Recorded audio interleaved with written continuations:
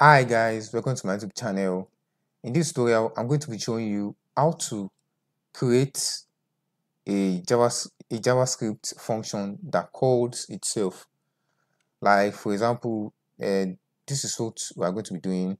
Like for example, in a, a normal JavaScript function, you have to click a, a button or you have to listen for an event on the page before the function um, runs and a JavaScript function, a JavaScript function that call itself, you can make it call itself. It will automatically call itself on page loads. So let me just load the page for you to uh, see it.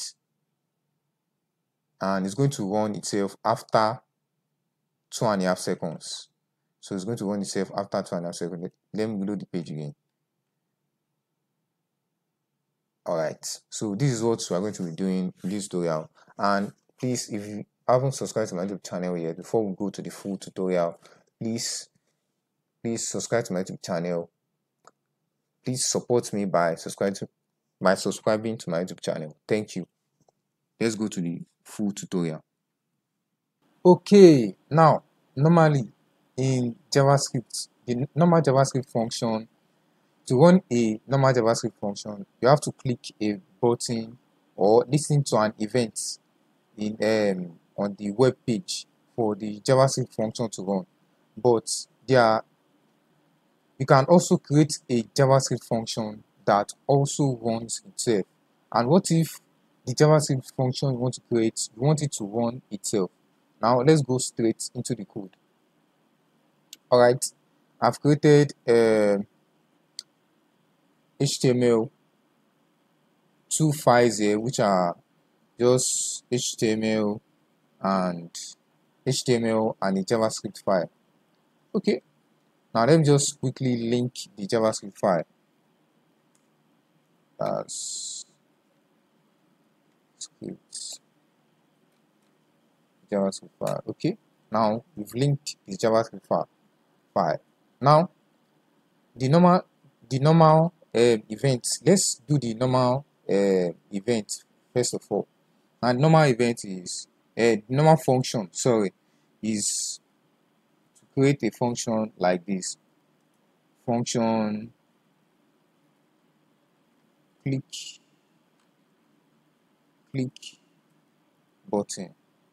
That's going to be uh, equal to okay oh sorry then you can now say okay okay we are going to change the text color of this. Let's say id change color and this id change text. Okay let's just copy this. Oops. Yeah and okay i'm just going to go to the top of the page and create it like a local variable. Okay we can also create it inside this. Let's say let's change text equal to document dot query selector then we are selecting an id an element with an id change text and the second one is change color. So the same thing. Let's change color equal to document dot query selector. That's going to be change color. Okay. Now after clicking the button we want to change the text and we want to change the color. Let's change the text to dot text content that's going to be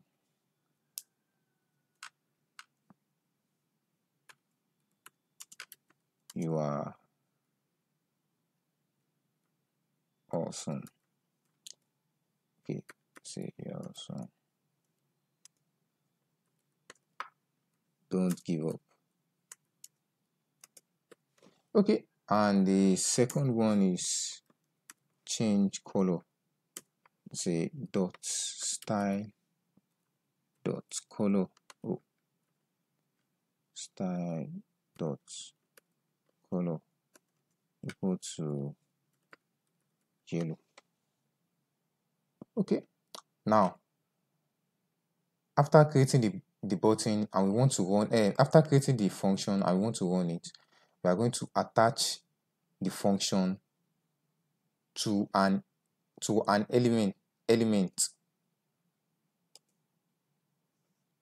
And on an event when an event happened happens. And what kind of event? Uh, let's say on click. On click event. Ah, okay now. Let's say on click click button.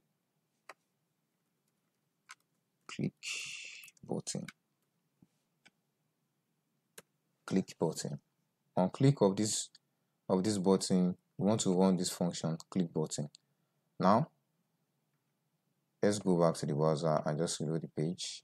All right so if i click on if i click on the button now it's going to change it has changed the text color of this one and the text content of this. If i load the page back it's going to be back. And now what if you want to uh, run the function you want the function to call itself. Now i'm just going to copy all this from here because we are going to be using the same same thing in the function. Now you can create it in three different ways. The the first one is to use the first one is to use the uh, the normal function normal anonymous function. Anonymous function. The second one is ES6 ES6 arrow anonymous. Anonymous function. Then you can also those are the two ways and you can also use um, a promise you can also use it in a, in a promise like await you can also use it with await and async async and await. Now let's try the three of them now. And the first one is normal anonymous function. Now to create a function that runs itself. First thing we're going to do is open a bracket then write an anonymous we are going to create an anonymous function function. All right then at the end after the second closing bracket we're going to write a closing and a and a an opening and a closing bracket. That's all. Then the function is going to is just going to run itself. And everything inside the function is going to run. And let's save it and let's go back to the browser and reload the page. As you can see automatically it has changed it has run the function itself automatically and we can just change the color of this one to let's say blue. Okay. Let's go back and just reload the page. I can see it has changed down to blue. It has changed to blue. Okay.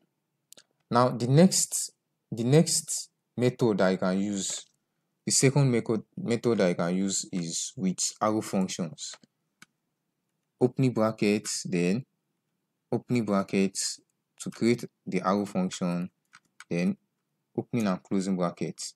And after the closing this the closing bracket just create the same way create an uh, opening and closing bracket again. Then i'm going to be running the same the same the same thing. And let me just change this to red this time around okay if you just load the page now as you can see and let me just change this to never give up. Never give up. Okay now what the function is going to do is going to do is it's going to run itself whenever after the page has finished loading so it will not wait for any event to be called. So it will just automatically run itself. All right so and the the most use, useful part of it is using it with async and await. So i'm just going to comment this out. And you can use it with async and await. We are not going to be connecting with any api uh, i'm just going to be using promise and post the code. We are going to be posting the code also. So and to use an async and await i'm going to be using it with ES6 arrow function. Async async. I hope you uh, understand understand async and await. And if you don't understand async and await there i've created if a a tutorial on async and await and await you can go on and watch it. And after and when you are done come back to this point and continue. All right so we're still going to be doing the same thing but we are going to be waiting for a response. We are going to be simulating a response a and like a promise like an ajax request we are going to be simulating it. And how can we do that? Let's let's say new promise. And i'm just going to do it in the the, the, the long method so reject and arrow function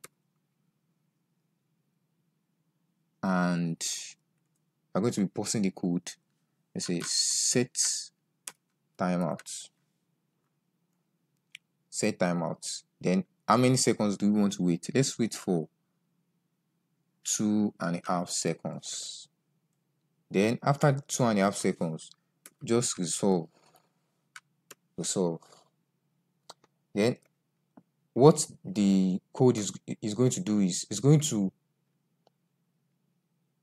wait for is going to make the code wait for two and a half seconds before going on and run this uh, code here this statement down here. So it's going to resolve after two and a half seconds. So that that's what it's going to do. And we can go on to the let's go on to the browser and just reload the page and okay i think it's it was very very fast. Okay oh i forgot something. I forgot to await. Now we need to await it. We need to await the promise. We need to await the promise. And let me just change this to um, let's set it to green. And let's set this one to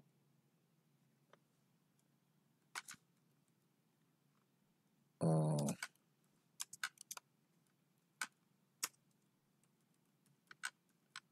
okay and let's save. And let's go back to the browser. And now let's reload the page. So it's going to wait for two and a half seconds. And yeah it has done it. Let's try it again. Okay let's try to change the color. Let's just change the color to purple. And let's go back to the browser. I just reload the page. After two and a half seconds you can see. Yeah so this is a, a javascript function that runs itself. So you can create it in different ways and you can use it in different different ways. And this is the most useful part of it. If you want to if you just want to um, group run a block of code or run some statements and and you want them to be in a um, in a function. And you want the function to automatically call itself when the page loads or maybe you are using a, a framework whenever the uh, the like for example in, in react whenever the component mounts. So you want the uh, the code to the set of code to automatically run itself so that that uh, that is the usefulness of uh, functions that a self-calling function. And in this case also if, if you wanted to maybe you want to make an ajax request call for, uh, from the server and you have to wait. And the the content down here relies on the results that's coming from the server. So you can use it in, in this case okay so this is uh, a self-calling javascript function. All right don't forget to subscribe to my youtube channel. If you like this video uh, tutorial just give it a thumb up and if you don't like it give it a thumb down and tell me the reason why you don't like it. See you in the next tutorial and thanks for watching my video